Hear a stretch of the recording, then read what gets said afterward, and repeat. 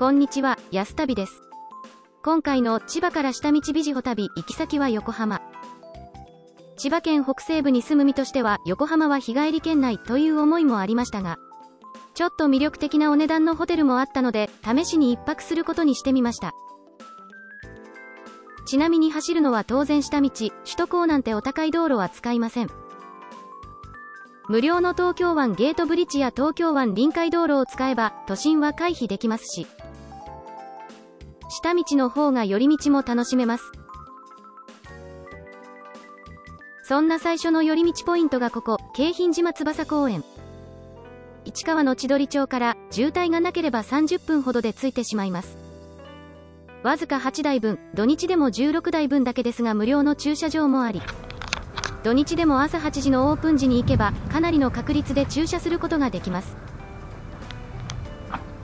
ここには綺麗なトイレもありますし、コンビニもない京浜島ですが、自動販売機で飲み物くらい買えますし、釣りをすることまでできてしまいます。コロナ禍以前はなんとバーベキューをすることも可能でした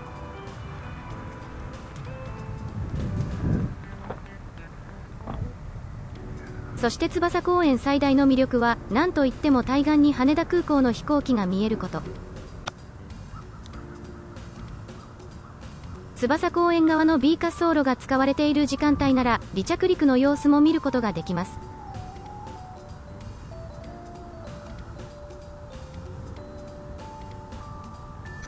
バーベキュー、早くできるようになるといいですね。羽田空港を見ることのできる公園には、もう一つオートキャンプもできる城南島海浜公園がありますが、駐車料金が結構お高いので、翼公園の駐車場無料はかなりありがたいです。翼公園から横浜を目指して走り出します。横浜に向かう途中、道路標識に扇町の文字が見え、子供の頃電車の路線図を見ながらこのエリアを走る鶴見線の複雑な構造に胸をときめかせていた記憶がよみがえり突発的に鶴見線の終点駅を見に行くことにしました扇町駅です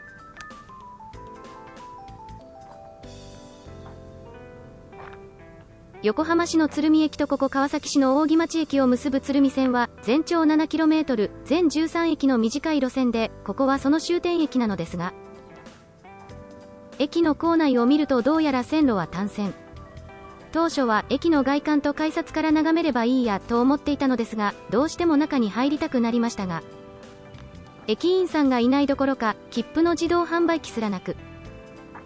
試しに suica を機械にかざしてみたら無事に反応。近くで電車が走り出す様子を見ることができましたやっぱり単線なのですねちなみに後で調べてみたところ、鶴見線は浜川崎から扇町の 1.3km が単線なのだとのこと。ホームの壁の裏側には何本も線路があるのですが、これは貨物の専用線のようです。貨物専用線は線路に錆はあっても雑草はありませんが、旅客船は雑草がいっぱい。1日の運行数は平日で1時間に0本から5本。昼の12時10分から16時10分までの間は2時間に1本という寂しさ。これでは雑草も生えてしまいますね。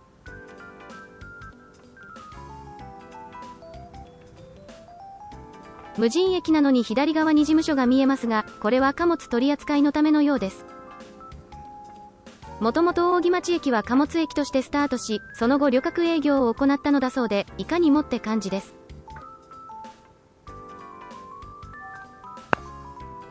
駅では栄養状態の良さそうな猫がのんびりくつろいでいました扇町駅は猫の撮影スポットとしても有名なのだそうです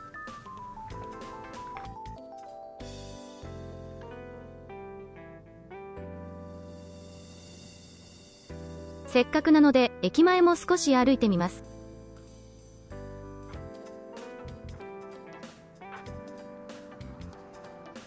この場所の海抜は2.2メートル、津波が来た場合の避難施設は、すべて近隣の工場です。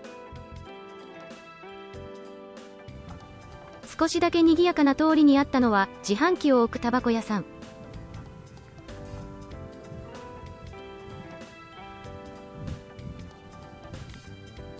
駅から徒歩30秒のアパート。少しですが一般の住宅も見られます。日曜日ということもあってか、閑散とした印象を受けます。そしてこのエリア唯一の食堂であり宿泊施設である栄食堂。お店のサイトによると、ここは1人当たり1泊2食5000円から泊まれるようで、和室のほか、畳1畳分のスペースにカーテンとテレビをつけた分割というドミトリーのような部屋もあり、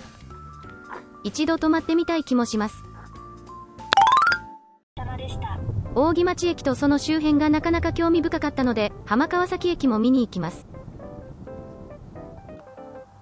浜川崎駅は鶴見線の駅であると同時に東海道本線南部線の駅なのですが所属は東海道本線でありながら旅客営業は鶴見線と南部線だけというややこしい駅でしかも鶴見線と南部線の駅舎が道路を挟んで離れているというますますややこしい駅でせっかくだからこの機会に見ておこうと考えたのでしたここも扇町同様券売機のない無人駅、でも改札から奥が見えにくいので suica で入場。こちらは南武線の浜川崎駅ホーム。長くてメジャーな印象のある南武線ですが、多くの電車は川崎駅から行き来するので、浜川崎から出るのは知って行きの南武支線の電車だけ。ここから鶴見線に乗り換えるには、一度外に出て道路を挟んだ反対側の駅舎に行くことになります。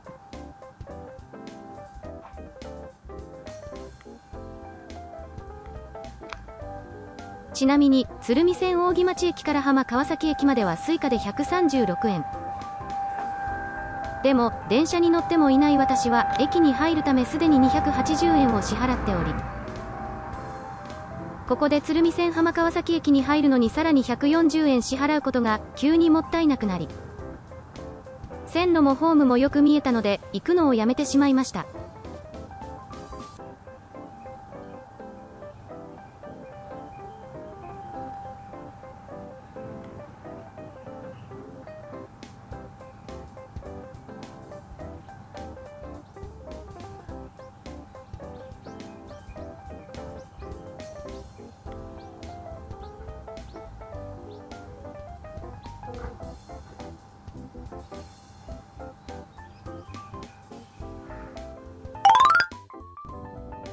さて、短い鶴見線にはさらに短い支線が2つあります。1つは海芝浦支線で終点は海芝浦駅ですが、ここは周囲が私有地のため車で行くことができないので、もう1つの支線である大川支線終点、大川駅を目指します。大川支線は全長 1km、お隣の武蔵白川駅からの支線ですが、大川駅を出た電車は武蔵白川駅には停車しません。運行数は平日でも朝と夕方以降の1日9本で、朝の8時51分から夕方5時29分までの8時間半は運行なし。土日に至っては1日3本しか運行しない首都圏の秘境駅です。この倉庫のような駅舎はいつ完成したのか記録がないのだとか。当然のように券売機もない無人駅で、駅舎内には駅の利用方法についてのご案内がありました。改札からホームも線路もよく見渡せ、ここでさらに入場料を支払う必要はありませんでした。ちなみに、大川駅と同レベルの運行状況の路線には、神戸の和田岬線があり、どちらも沿線の工場に勤務する人のための路線ですが、和田岬駅近くにはヴィッセル神戸のホームスタジアム、ノエビアスタジアムがありますが、大川駅周辺には飲み物の自動販売機すらなく、何もない感は和田岬駅や扇町駅の比じゃありません。こんなにすごい駅は初めてで、来てよかった、と心から思いました。軽い気持ちで立ち寄ってしまった鶴見線の終着駅巡りですが、これが予想以上に面白く、結構な時間を費やしてしまいました。横浜に高速で向かっていたら、こんな出会いもなかったわけで。やっぱり下道は楽しいな、と、その良さを再確認。横浜で中華のランチをいただくため、車を西にスタートさせます。よろしかったら、高評価、チャンネル登録、ぜひお願いします。